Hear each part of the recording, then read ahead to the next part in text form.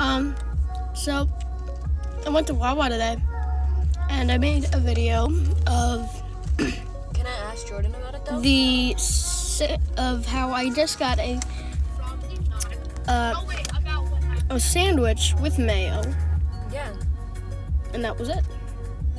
cause And no, I told you 'cause I'd share earlier the I was pictures. like, I'm gonna ask her what she, and these are the um, pictures.